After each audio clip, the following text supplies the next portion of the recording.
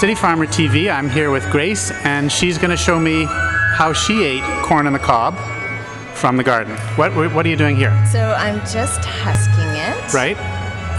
Have to speak up without loud Oh, music. okay. We're just, I'm just husking it. Yeah, And then we usually break it in half. right. And because my mom grew up post Korean War, Yeah. she was very um, sort of frugal growing up with food. So instead of um, motoring through a cob of corn in Yeah. five seconds, Yeah. she taught us to savor each kernel. So, So you learn how to do it. Wait, let me see this again.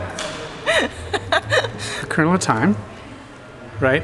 And so, we there's would no eat loss. it a kernel at a time. Yeah, let so me we'd try. start at the ends because it's easiest.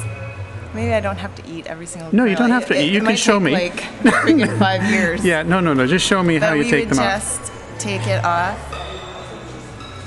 kernel by kernel, and Yeah. just eat it like as a snack on TV. So one cob, or maybe even just a half a cob of corn, would last a few, you know, hours. Just like how nowadays people put microwave popcorn in the the microwave and Right. eat it while watching a movie. We would eat half a co- cob of corn while eating, uh, watching a movie or watching TV. So you just twist off each cob Right.